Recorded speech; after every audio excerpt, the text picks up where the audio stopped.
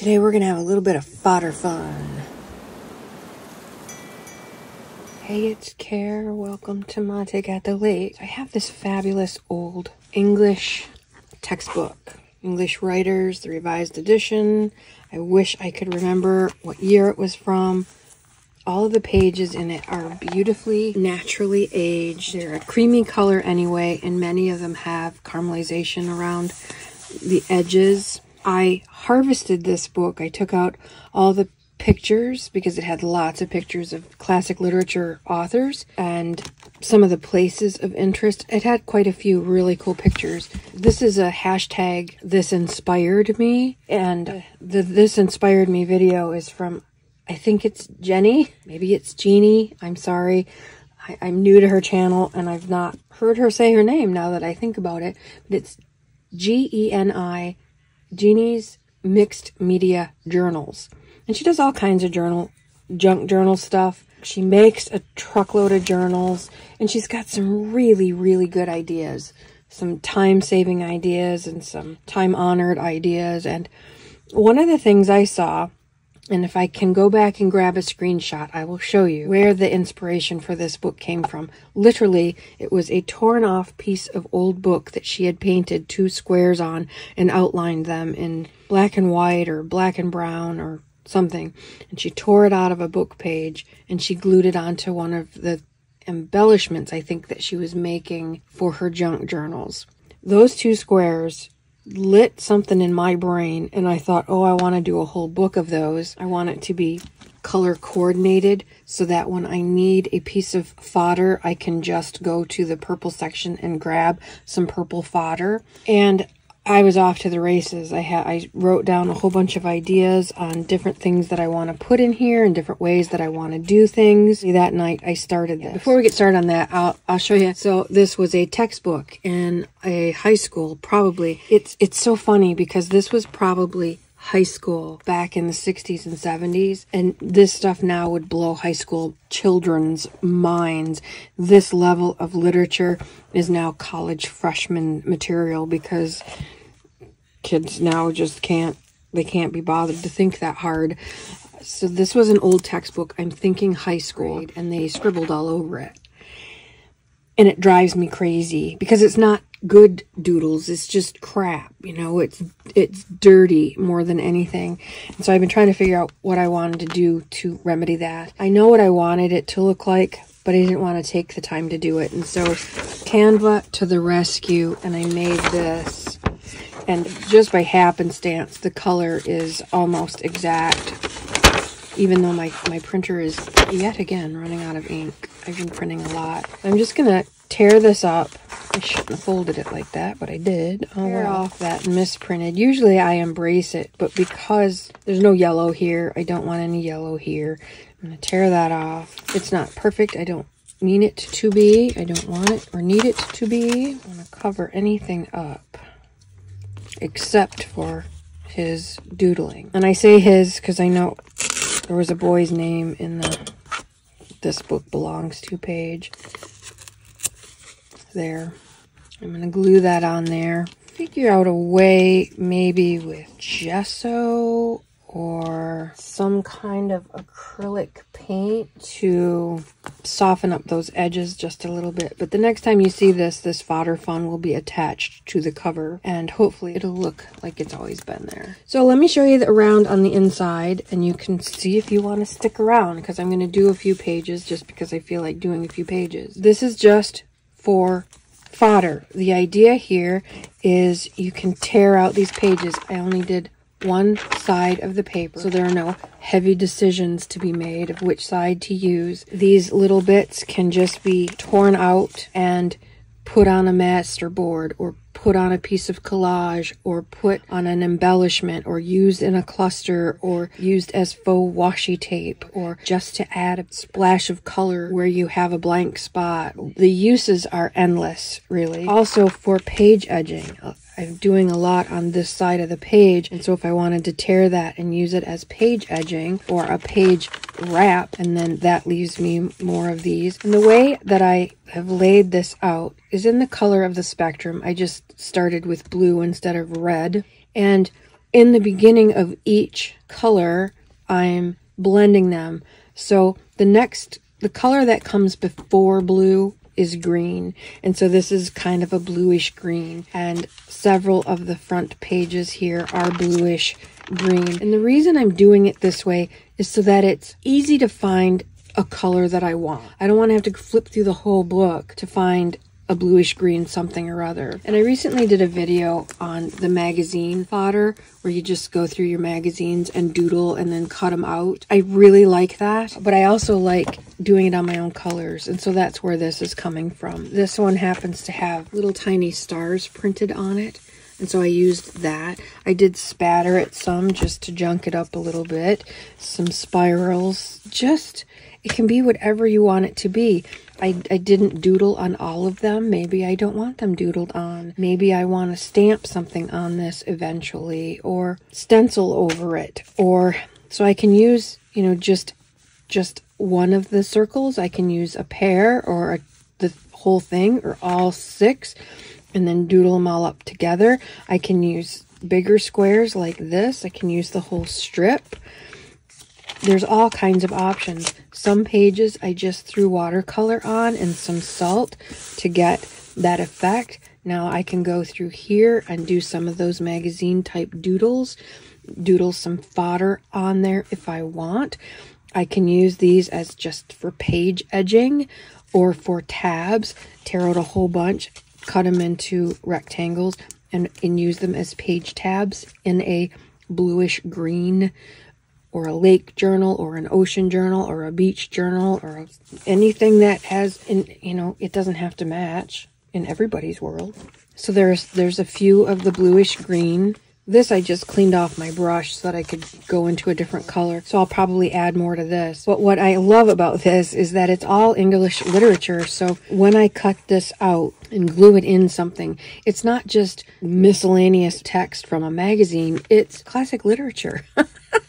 I love that. I just love that. And there are pages and pages and pages. And so many, many, many of the embellishments that I make are going to have a background of English literature, and that makes my heart glad. I wanted a book that was at least nine inches tall because generally speaking, that's as big as I go with my pages, and this is exactly nine inches tall. I just happened to luck out with that. Originally, I thought, well, it'd be fun to do it in a in just a paperback, but I wanted the page edging option, so it had to be a little bit taller than a paperback. This is sort of like cleaning off my brushes and my books of unwasted paint. This is very much paint used on purpose though. But as I was getting ready to do some in the purple, because I was bored with the blue and green, I wanted to do some purple, I just wiped off the brush as if it were a book of unwasted paint. I could come back and add to this if I want to. That is all I did in the blue and green, but I did some purple. Now, this is a very bluish purple because it's at the end of blue and the beginning of purple and so I wanted it to have a lot of blue in the mix, a blue violet. And so that's what these first few pages are. So when I go back to the purples, I am going to just start doing just purples and I'm going to do lilacs and I'm going to do darker purples and lighter purples and in every color block at the end, I'm going to mix it with some browns so that if I have a vintage project that I'm working on that needs vintage and purple, I'll have some browns to play with as well. Another thing that I plan to do at the back of each of the color blocks is some color wheels and color chips and things that are real artsy, watercolory, kind of like last year's Tim Holtz collage paper that came out. I think it was last year. Carrie at Mixed Media, Carrie's Mixed Media Arts. Now it's Carrie Gibson Art. She did some of her own versions of that that Tim Holtz collage paper and it's magnificent. So I want to do something similar with all kinds of colors in the back of each so that I have a huge range. I have every color under the spectrum, plus with some vintage, plus all colors. I may at may at the very back do some just black and white stuff because and it would have to be black and cream and white because this is such an old book compared to, you know, new. You can see how yellow how creamy the pages are. So I'll just show you a few more pages. This, this of course, salt. If you're wondering why that looks so amazing, it's because when it was still sort of wet, I spattered it with water. And when it was still sort of wet, I added salt to it. I'll, I'll be doing some more of those pages so you'll be able to see. And this is fun. I can jump, when I get bored, I can jump to a different color. So this, this is ending the purple and starting the red. So this is going to be a very magenta red, a very purplish red at first. And then I will get to the redder reds and pinks and lighter reds and darker reds and reds with browns toward the back for the vintage stuff. Lots of squares because that's where it started out. Lots of circles because they're easy. Just patterns. These are just small circles done in layers, really light ones when that was dry. I did the medium ones when that was dry. I came back with the dark ones. Same thing, different shape, kind of a plaid. Now this I could do some ink work on or doodle on or use it as is. Any of these can have Posca pen or micron pen, fine liner pen, marker. You can do anything over this. Stamping, let's just grab a stamp and do a stamp over it just to see how cool that would look. I just happen to have a brand new, new to me, fern stamp. That's handy. I'm going to hit it with archival ink, waterproof. Because who knows how much I'm going to, what else I might do with this. Kind of cool. Got four more ink stamps off of that. I don't want to do any more on here. So I just did them on here. Those would be fun, torn up into and used in collage. Nothing ever goes to waste. Plus I wanted to clean the ink off my stamp. You know, once it, it's going to dry, next time I pick the stamp up will probably be six months from now. So I don't want it to get ruined. I'm going to do some writing, just some weird writing. This is a fantastic low energy. You want to do something creative, but you don't have much creative energy. This is it. This is, it doesn't get any easier than this. So that was fun. I love that. I like the stamp on it. Okay, again, just some, I can, I can do all kinds of things here. I can doodle, I can use it as strips, I can stamp on this, I can doodle some stuff on here and cut those out. I can do all kinds of things. This is going to be orange, but because it's the end of the red, I'm doing some reddish orange, red mixed with orange. And that's, I think, as far as I, oh, I did some yellow, but it's at the end of the orange, so I didn't rub the salt off. Now, the salt works best in the bluish colors, especially ultramarine. It barely did anything to these yellows and oranges. So don't waste the salt. You know, if you know the colors aren't going to work, don't don't waste your time because it's a chemical reaction. It, all the colors are different chemicals. They don't always react the same with the salt. Some page edging some doodles. So since we haven't done anything in the green, we're going to go to the green and it's going to be a yellow green because at the end of the yellow, beginning of the green. Oh, I wasn't thinking I should have sprayed my, my uh, watercolor here before I started. I'm on another campaign to educate people who want to do watercolor. I've been working with my little Cotman set a lot, and those are pan colors that came with the set, except for a couple that I filled in with my tube colors.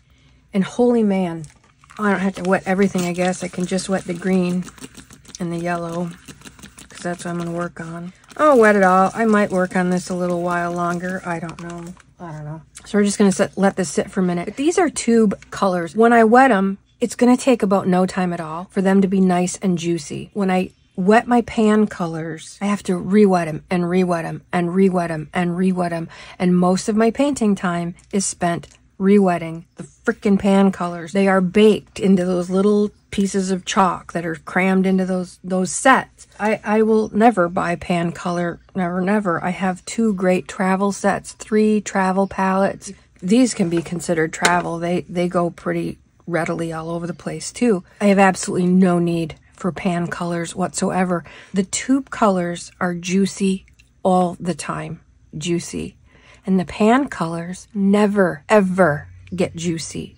And by juicy, I mean just luscious, wonderful, vibrant, saturated is a good word. Just, it's like night and day to me. And so if you're thinking about watercolor, please, please, please get yourself decent watercolors, at least Cotman student grade Winsor Newton, at least. Or get yourself a, a, good set of primaries. Daniel Smith has a primary kit. Winsor & Newton has a primary kit of their artist grade quality. Red, yellow, blue, and black sometimes, which you don't really need, but buy tube, buy tube, buy tube. All right, that should be enough time for this to have gotten workable and I have no space here. I am working on a completely cluttered desk. I'm tilting it because that's how my left hand works. So I have a lot of green already on the palette. There's no reason to, to start anywhere else. I'm just going to get this page wet. I have, uh, I think what's a fairly new subscriber, I, I, believe her name is Victoria. In one of the comments on another video, she said she had a lot of family members who were pissed at her because she's tearing up books. And I totally get, I get that. I, I almost threw up the first time I saw a junk journal, quote unquote, gut a book. Oh my God. Are you kidding me? You know, books to me are like Bibles. You just don't do that, you know? They're even more than Bibles in my brain. Having someone just tear it up, especially being an author, being a book lover and a book collector. Oh my God, you just don't do that. you just don't do that. However, I've gotten over it. You know, the first one that I gutted was difficult, but I did it. Like Julia Childs said when she was deboning her first chicken, you know, sometimes you just have to go for it. You just have to do it and and soak it up and and do it. And I told Victoria that tell her family and friends that we're giving them a new life. This is a very old textbook it's not going to be used in a classroom anymore. Libraries are not going to check them out because no one is interested in an old textbook of English literature. They're sad but true. They're just not interested in it. P.S. Remember when you're working in watercolor, it's always going to dry back about 20%. So if it seems way too bright, know that it's going to dry back 20%. So if it's way too bright, you're right on you're right on target. Anyway, we're giving these books new life. They're destined for dumpsters and landfills, and we are now giving them new and different life. It's another way to enjoy a book. What I forgot to mention in that reply to her comment was this. I used to work at a Walden Books, and booksellers destroy books by the garbage bag full every single day of the year. They pull the covers off so they can't be resold and they get thrown into a dumpster and trashed. Booksellers do it all day, every day. It's disgusting. They do it with magazines. They do it with paperback books. I've never torn up a hardcover at a bookstore, but it's common practice. It's disturbing. It's horrible. I know it didn't work in the yellow and orange. I'm going to try it here. This is my compilation salt. It's every salt I ever had in the house. Wow, that's a lot of salt. Sea salt, pink salt, flake salt, pickling salt, canning salt, kosher salt. McDonald's salt is the bulk of it because that's the best stuff for some reason. I don't know if it's the cut or what, but wow. Also, while it's still kind of wet, sort of drying, I'm going to take some water and just give it some spatters. That gives you some lovely blossoms and blooms as that wet water moves the drying paint. Okay, I want to go down to the next page, but I don't want these two to stick together, so I'm just going to find something, this, to put here so I can paint on this page. This one I'll do, um, I'm going to skip a few because I want a few more of those just full of color pages, but I know you've seen it once. You don't need to see that again. Let's do some of the squares and stuff. Whenever I watercolor, I try to always keep Kleenex either in my hand or at hand because I want to I want to load this up with color, whatever green is on there. And I want to take out a lot of that water, but I want to leave some pigment at the top. So I'm pressing, I'm pressing on that belly right here, belly of the brush, and getting out the water, but leaving some paint. Because I don't want this to run all over the place. I want to just be able to, and that's mostly water in there, not a lot of paint. So I'm going to go into my, my paint and put some water down, put some paint down. And I'm just to make some circles. The size is entirely up to you. How big do you think you're to use? They don't have to be perfect. I do try to keep them about the same size in the same row. Now, again, I want these yellowish green, yellow and green, so I'm picking up some yellow and putting that in there. Kind of a lime green lemon green.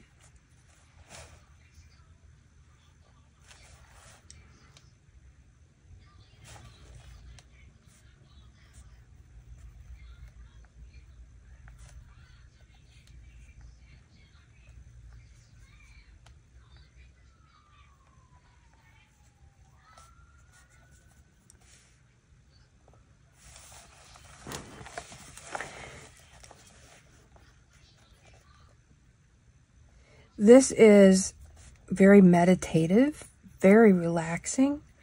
Put on a good movie, put on some beautiful music, listen to the birds outside, and just doodle. This is no brain stuff. You don't have to think real hard about it.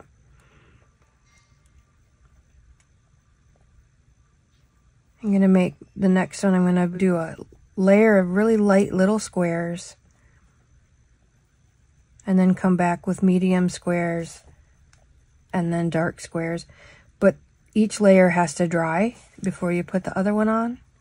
So while these are drying, we can go on and do something else. These are pretty light. I don't even know if you can see them. Remember, you can always zoom in if you're on a mobile device or a tablet, just like you do with your photos. You just zoom in and zoom out on YouTube, you can zoom in and get really close. You can get right down to my brushwork here and see exactly what these little squares look like if you want to, and I'm not zooming enough. I'm not zooming because I'm painting. You zoom. And if you're on a mobile device and you can see this subscribe button, watch what it does when I say the word subscribe. Make sure to like this video and subscribe it lights up and I think there's confetti. It's super fun. It's kind of scary because it knows what I'm saying. It knows what my, my recording is saying. I'm astonished every day at how people, how many people use YouTube every day and have absolutely no idea how to use it or how it works. Like people who complain about the ads that they're seeing to the creator as if we have any any, any, any, any control over the ads you see. We have some control as to how many. We have some control over where they're placed. Well, that's it. And we all see different ads on the same video. If you're watching this video and you're a dog lover, you might get pet supplies and Chewy and anything that you may have Googled before or looked up before, you'll see ads related to that. If you're a cat person, you won't see the dog ads. You'll see something completely different. We all have completely different ads experience. And yet, people will complain, oh, it's so funny. I'm watching a video on weight loss and, and there's a Dairy Queen ad. Ha ha ha. Who thought that was a good idea? YouTube it's YouTube and Google. They did it. We didn't do it. But people who watch don't have any idea how that's how it works. You know, it's crazy to me. So while those little tiny squares are drying, I'm going to put in some squares down here, some bigger ones.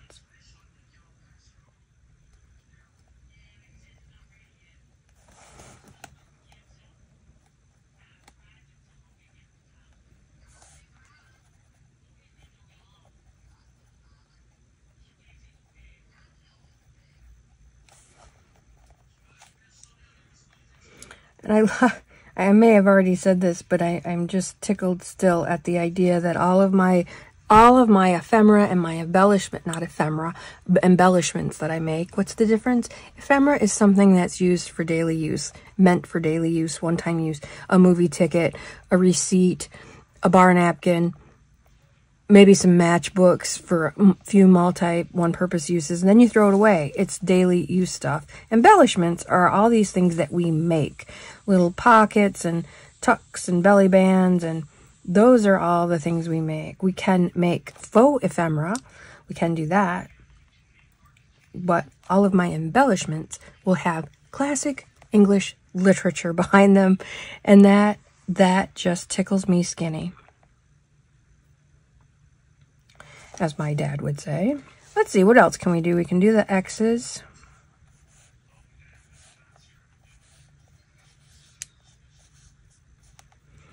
And pick up some yellow, even though that is pretty yellowish green. And I, I quite like the color of those X's, so I'm just going to go in with that yellow I just picked up and put in some dots in between. What I like too is that I'm, I'm going to leave all this intact until I start cutting it apart. And as I cut it apart, I'm going to start at the page edge and work toward the, toward the spine. So it should pretty well stay intact. It won't be just the fodder all over the place. It'll, it'll be pretty easily managed. And I like that. Um, what else can I make here? How about some bigger circles?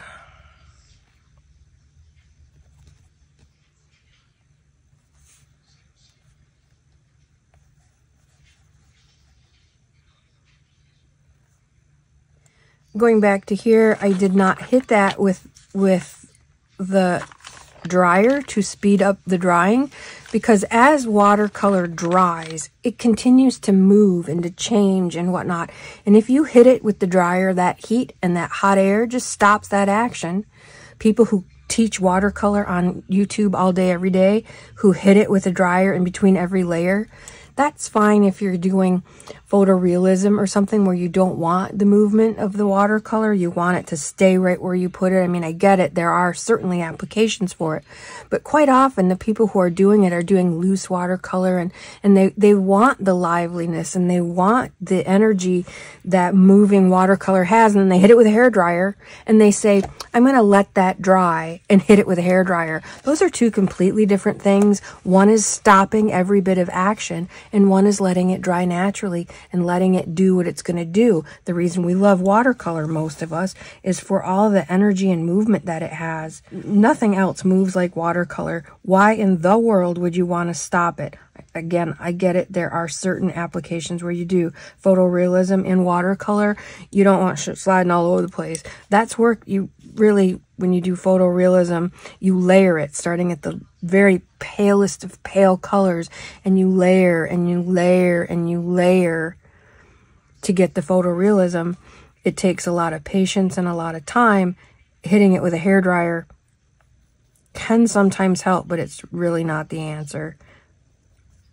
I get it in, in acrylic. Acrylic doesn't move like watercolor. I get it. Gesso, hit it with a hair dryer. I'm all in.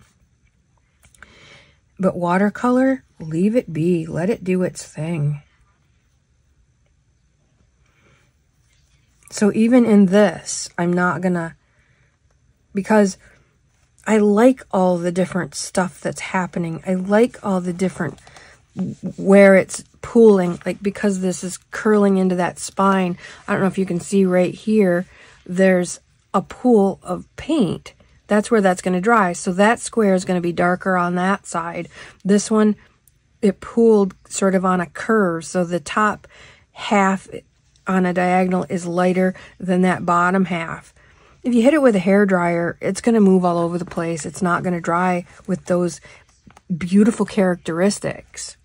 Uh, some water, and throw some yellow in here just for good measure.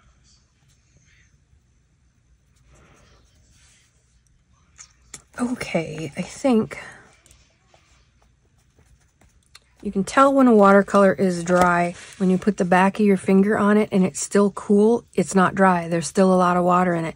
Test test it someplace where there isn't any water and then test it where where you have watercolor and you can feel a temperature difference.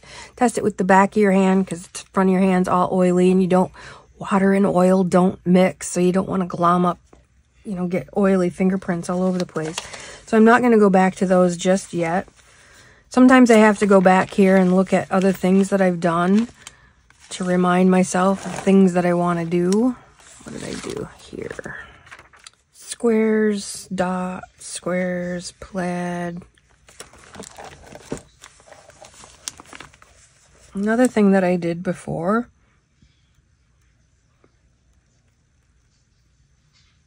is just some movement.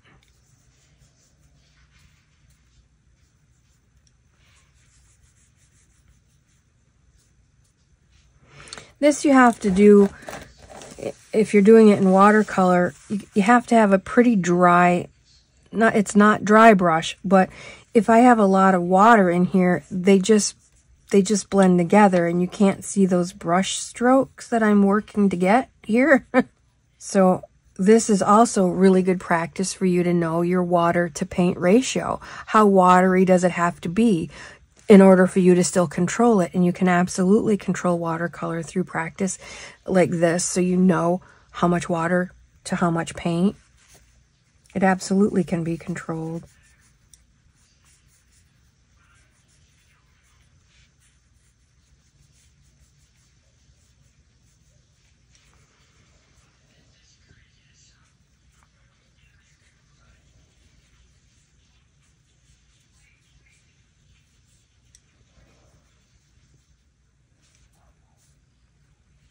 Okay, let's go back to these little squares up here. So these are really light. I want something that's a little bit darker, but not super dark, a medium. And I'm gonna overlap them hither and yon, just here and there.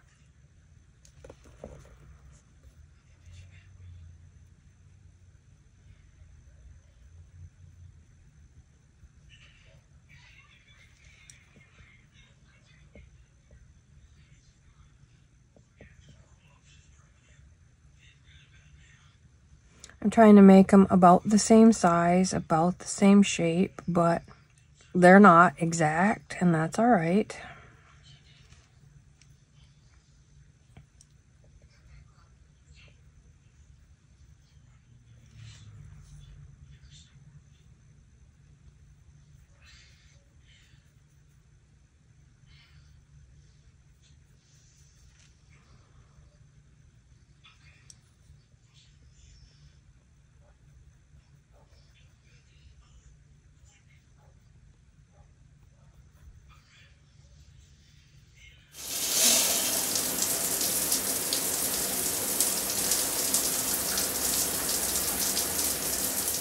I'm going to put just a couple medium ones here and there.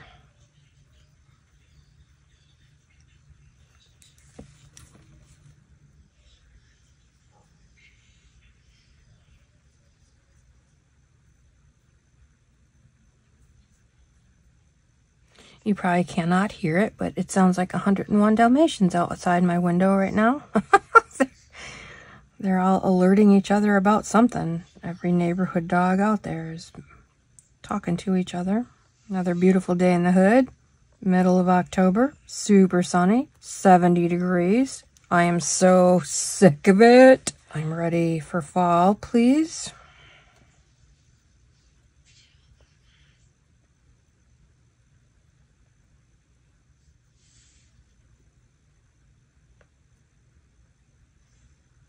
Now they kind of sort of all look the same, that there isn't a huge difference between the medium and the light. But when we put the super dark one down, then they'll all sort of separate and, and you'll be able to see clearly. All right, what else can we do? While we're waiting for those medium ones to dry, we'll do, oh, let's do some more X's. I really like how that, I like this green.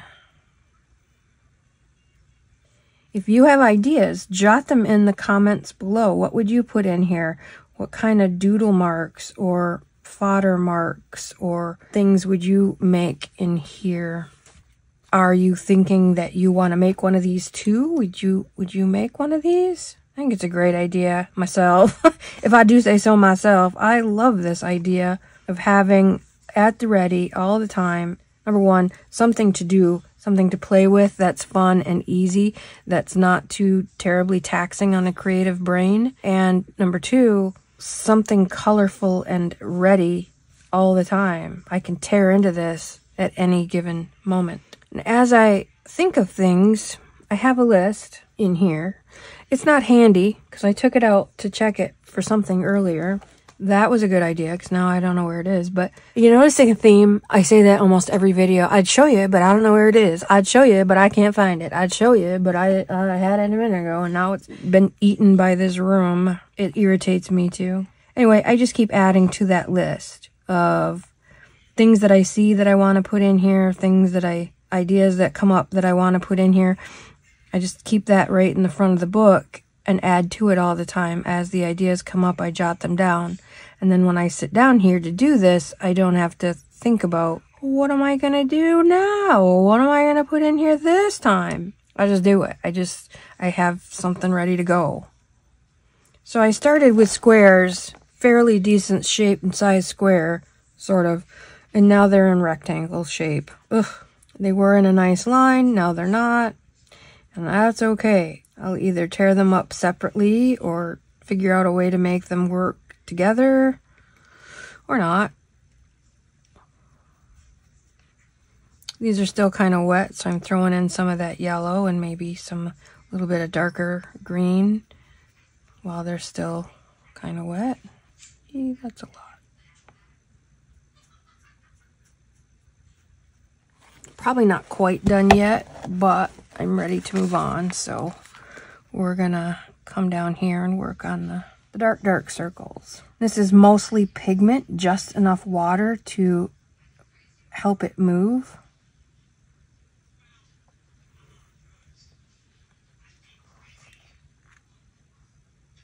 This is the same thing if you saw in the earlier pictures. It's from the book Watercolor for the Soul where you just do the layers. There's the small squares. There's also triangles, circles, and little leaf shapes. Super easy.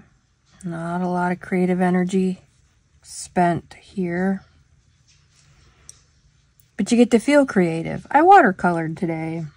I played with my watercolors today. I made fodder for my journals today. I worked on my fodder collection today. You know, it's just all good. And there's no rush, no reason to hurry through this. Just enjoy playing with your toys. Know that with every stroke you make in this kind of project, you are learning more about your watercolor, what the colors do, how much water to paint, what your brushes do, what kind of strokes do they make, when is dry enough dry enough and not. All good lessons that don't actually feel like lessons, but you're what you're doing is building muscle memory, mental muscle memory, physical muscle memory.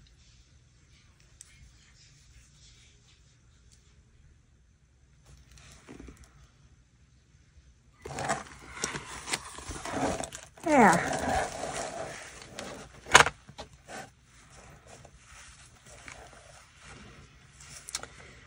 What shall we do here? Maybe just a plaid.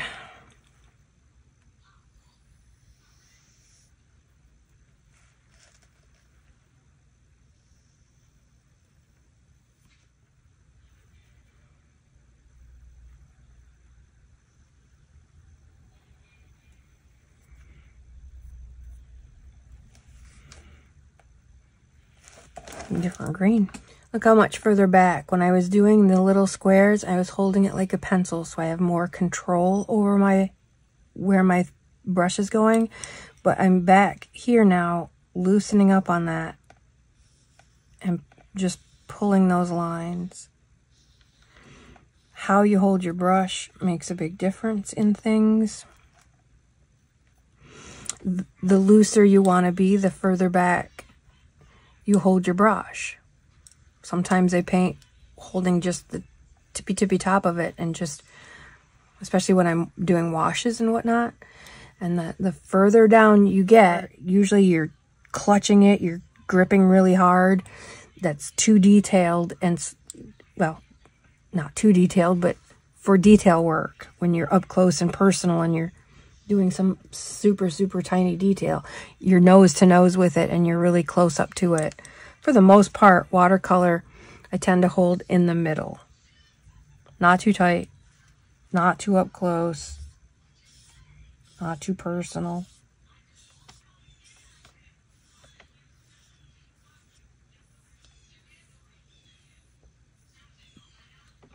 Just putting some dots in those plaids just for some interest.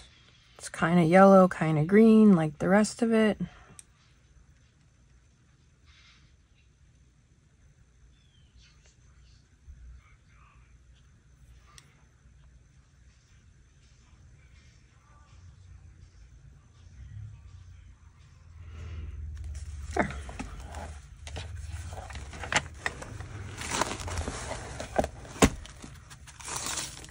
This page come out? Well, as suspected, the salt didn't really do much. It's still not dry. So I'm going to spatter some more water. Just because. At this point, too, you can spatter some paint. You can spatter paint anytime you want.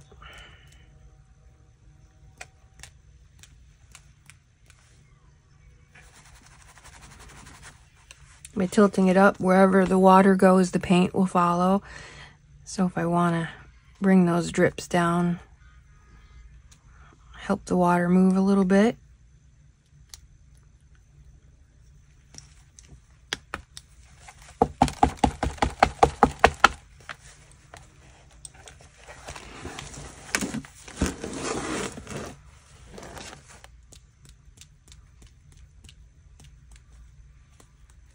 I'm just going to let that dry. I'm going to go get a nice hot cup of tea and maybe do some more pages. But you get the gist, right? You get the idea here that grab an old book. If size doesn't matter to you, then use a paperback, although that might not stay intact as well. But you can do just a few pages at a time. You don't have to do the entire spectrum. You know, how I tend to do things is all or nothing. I I don't know. It's a it's a problem. Whenever I'm done watercoloring too, once I've cleaned my brush out really well, I clean it in the dirty water and then I swish it around in the clean water and I, I as I'm drying it, I roll it on my pad, my drying pad. And before I put it back in its little holder, I make it come to a point again like that. I just with my fingers and I'm rolling it and twisting it so that I'm bringing that to a nice point while it's wet. And I let my brushes dry. I tilt them so they have just a tiny bit of tilt. When I lay them down, I make sure that they're tilting downward a little bit, not touching anything because I don't want that, the bristles to get bent and dry, but I want it to be on a downward angle enough for whatever moisture is in here to come out through the bristles out through the bristles and dry, out through the bristles and dry, versus just throwing it back upward in my jar. Whatever moisture is in here is going to get down. It's just going to dry down in there into the glue that's holding those together. Now they're glued and crimped, you know, and tied ideally up in there, but I don't want anything to come apart. And so I've always dried my brushes like that, even if it's just a tiny bit, or even if it's just horizontal, it's better than vertical until they're dry. And then I throw them back in my cup. Alrighty. Well, I hope you enjoyed this sort of a process video idea. I hope that you go to painting and start your own and uh, let me know if you're going to try this. I'd love to know. Till we meet again, go love up your Beasleys. And you weren't brave either. And what do they know? Mate at the lake. Oh, we're now.